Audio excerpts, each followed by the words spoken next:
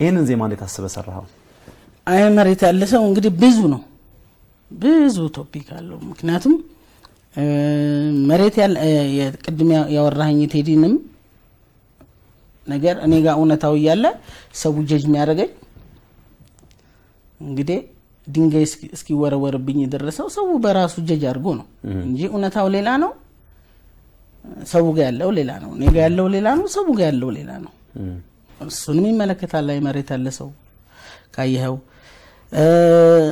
አርጌሳም ደግሞ ለኢንተርቪው የተጠራው ጊዜ እንደውም አርጌሳ? አርጌሳ ሄደሃል እዛም? አዎ እንዳልክ እንደውም የእናንተ በጣም በነገራችን ላይ እሱም ፕሮግራም አድናቂውና አክባሪው ነኝ። እንዳልክ በጄቲቪ አዎ እና የሆነ የትዝታው ፈረስ ከሶማሌዎች ጋር አዎ፣ ምንድን ነው እሱ? እሱ ታሪክ መቼ የተቀረጸ ነው? ልነግርህ ነው። ጅጅጋ ምንድን ነው? እንግዲህ ስለዚህ ለእንዳልክም መልሳለህ ማለት ነው። አዎ ለእንዳልክ መልሳለኝ። እሺ። ግን ባሪፉ ጎን ነው ማለት የአራዳ ልጅ ነው፣ ይመቸኛል። የሚሰጣቸው አስተያየቶችም አሪፍ ናቸው። የራሱ የሆነ ያዋዛ ነው የሚያቀርበው ምናምን ደስ ይለኛል፣ ይመቸኛል። እሺ። እና ምን መሰለህ ያ የአርጌሳው እንደ ሱዳኑ አርጌሳም እወደዳለሁ በሶማሌዎቹ አርጌሳም በቃ አላህ ዘይዶ ትወደዳለሁ. እና ሂሩት የምትባል ሶማለኛ ዘፋኝ እና ደግሞ ጄሪ ሸጊ ከሀረር ነች። ከአቢሰሎም ጋር የሰሩት የለም። ጄሪ ዘፋኟ። እና እኔ ተመርጠን እዛ ላለ ማህበረሰብ። ማህበረሰብ እና የቲቪ ታዋቂ ቲቪ ነው። interview እና ያው ዘፈን ምናምን እንድናቀርብ ነው የተጠራ ነው። ቀጥታ በ plane ከዚህ መሄድ ስችል በቃ እያየን ሀገርን እያየን ጅጅጋ እንሄዳለን። ጅጅጋ ልክ አንተ ጅጅጋ ደርሼ የሆኑ friend ኦች አሉ እነሱ ጋር ተጠርቼ ምሳ እየገባው ጦርነቱ ተነሳ። ያ ግጭት ሁለት ቀን አልጋ ስር አድሬ ነው ወላሂ አላህ አትርፎኝ ወደ አርጌሳ ሄድኩት። በእውነት በመኪና ሄድክ ታዲያ? ከዛ ለእኛ አንዳንዳችን አምስት አምስት ሺህ ብር ተከፍሎ ሰባ ኪሎ ሜትር እኮ ነች ታውቃለህ፣ ከጅጅጋ አርጌሳ። ለእኛ አንዳንዳችን ግን አምስት አምስት ሺህ ብር ተከፍሎ ነው በመኪና? ይወጣል በጠባቂ ማለት ነው። በጠባቂ። እሺ። አልጋ ስር ሆኜ ስ ቢያገኙ ይኖሩ እና አልጋ ስር ሆኜ ስደውል አንተ ግማሹ በጣራ ላይ ወጣ ይለኛል፣ ግማሹ እንደዚህ መንግስት ደርሰዋል፣ plane ተልኳል ምናም ይለኛል። አይ መሬት ያለሰ አልኩኛ መነሻውም እሱ ነው ማለት ነው። አዎ። እና ስለ ሙዚቃውም ንገርና ያቺ ቀረጻዋ እንዴት መቻ ተካሄደች? ከዛ አሁን እንዳልክ ቀረባት ማለት ነው። ከዛ ገባን። እሺ። ገባን ሀርጌሳ። እሺ። ገባን። interview ተደረግን። እና ዘፈኖች ደግሞ በዛ ሀገር ባህል ደስ የሚል ነገር የሚገርም ነገር ነው። አንተ ስትዘፍን ሶማሌኛ ዘፋኞቹ ታዋቂዎች ናቸው፣ መጥተው ይጨፍራሉ። ይሄ የታወቀ ነው፣ ባህል ነው። ምንድን ነው ብዬ ስል ባህል ነው አለኝ እና እነሱም ሲዘፍኑ እኔ ሄጄ ጨፍሬያለሁ።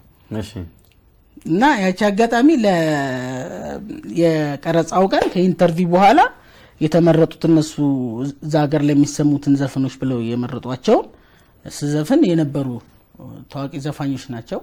አብረን እየደነስን እየዘፈንን ስቱዲዮ የተቀረጸ ነው እሱ ስራ። በጣም የሚገርም ነው። አሁን እንደውም አይ መሬት ያለ ሰው ስትል እንደው አንድ ነገር በእኔና በአንተ ጉዳይ ተፈጥሮ የነበረ ነገርም ትዝ አለኝ።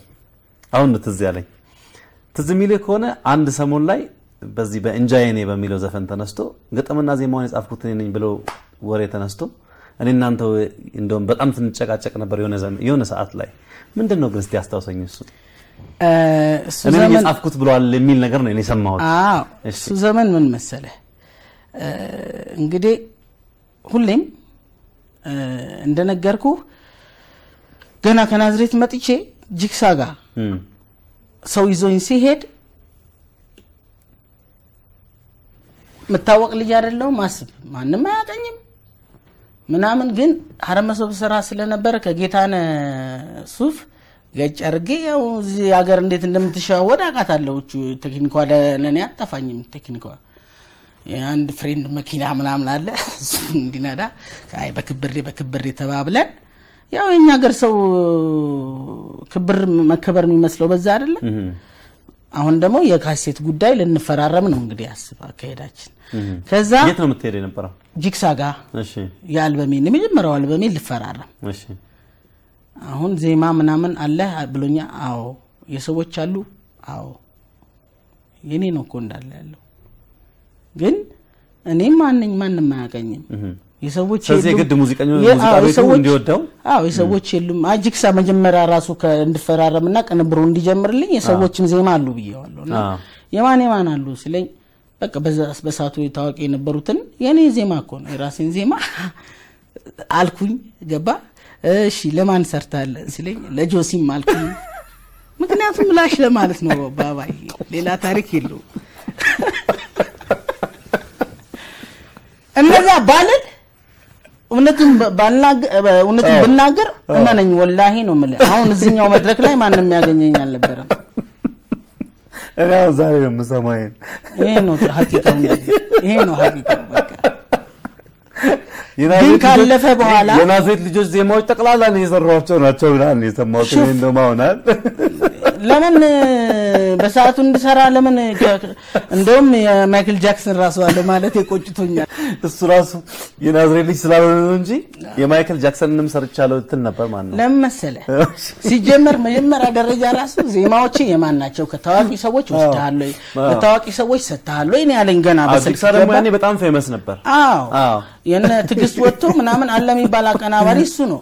እኔ ለራሴ ደግሞ ከናዝሬት በሰላሳ ብር ቆርጬ የተነሳው አንድ ምስኪን ልጅ ነኝ።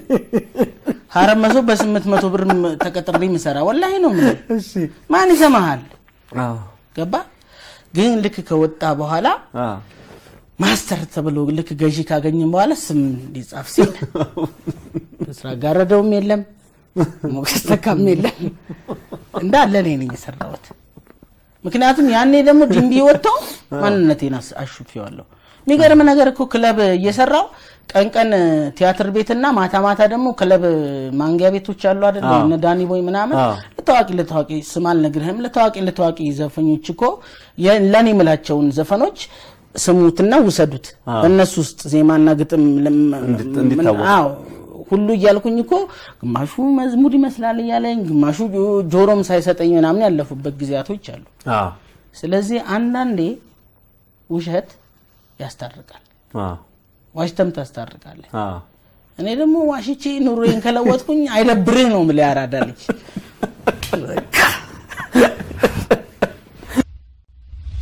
እንግዲህ ዛሬ በጣም አደከምከኝ ዲምቢ። በጣም ደስ የሚል ነው። ምክንያቱም እኔም ከዚህ በፊት ያኔ ልጅነትም አለ እኮ እ፣ እኔ ግጥምና ዜማውን ራሴ ነኝ የሰራሁት እና እንደዛ ነገር ሰማው በጣም ገረመኝና በጣም ተበሳጨው በወቅቱ እና አንዳንድ ሀይቃ ሀይለ ቃሎችንም ተነጋግረናል። I think በስልክ ደውዬልህ ይመስለኛል እና ግን አንተም አልነገርከኝም፣ ይህንም ሀሳብ አልነገርከኝም። በዚህ አጋጣሚ አሁን ዛሬ ነው እንግዲህ ይቅርታም አልጠየቅም፣ ይቅርታ ጠይቃል ማለት ነው። ግን አሪፍ ነው ያው ያልከኝ ነገር አገላለጹ ደስ ይላል። ደግሞ ካለፈ በኋላ ስትሰማው በጣም ነው ደስ የሚለው።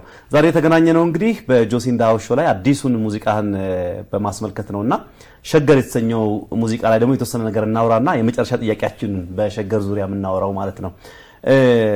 እስቲ ስለ ክሊፑ ንገረኝ። እንዴት አድርጋችሁ produce አደረጋችሁት?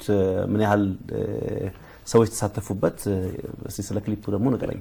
አንድ ለየት ያለ ዳንስ የሚደንሱ ትልቅ ሰውም ያየው መሰለኝ ክሊፑ ላይ እኔ ብዙ አልተካተትኩም።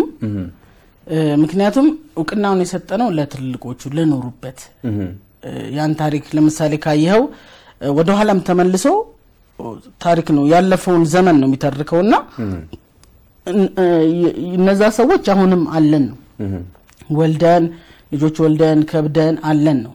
በዛ መሀል ግን የሚተርኩት ታሪኮች አሉ። ለምሳሌ ለእናት ሀገር ጥሪ ለ- ለሀገሬ ሰምቼ የእናት ሀገር ጥሪ በታሪካችን በአፍሪካ በአፍሪካ ውስጥ አንደኛ ዘመቻ ነው።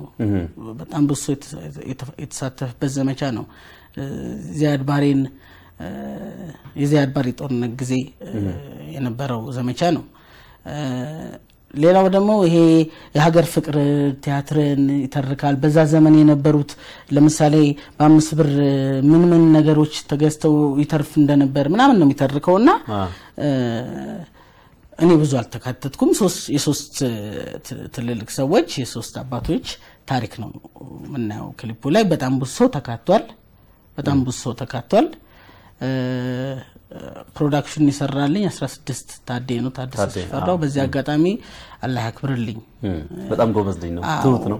በጣም ወንደሰን ይሁብንም ሁሉንም ወንደሰን ይሁብንም direct ያደረገው በጣም በርካታ ቪዲዮችን direct እያደረገ ነው። በግጥም በጣም ጥሩ ስራዎች ይሰራል። አዎ ናትናኤል ግርማቸው፣ saxophonist ዘሪሁንን፣ ጊታሪስት ስብሀትን፣ እ፣ አቤል ጳውሎስን በስራው ላይ የተሳተፉ ሰዎችን ሁሉ ናትናኤል ግርማቸውን ሁሉም ከልብ ነው የሰሩልኝ። ወንደሰን ይሁብ ደግሞ በነገራችን ላይ አሁን ላይ በዳይሬክቲንግም በግጥምም በጣም ምርጥ ምርጥ ስራዎች የተባሉ ስራዎችን እየሰራ ነው።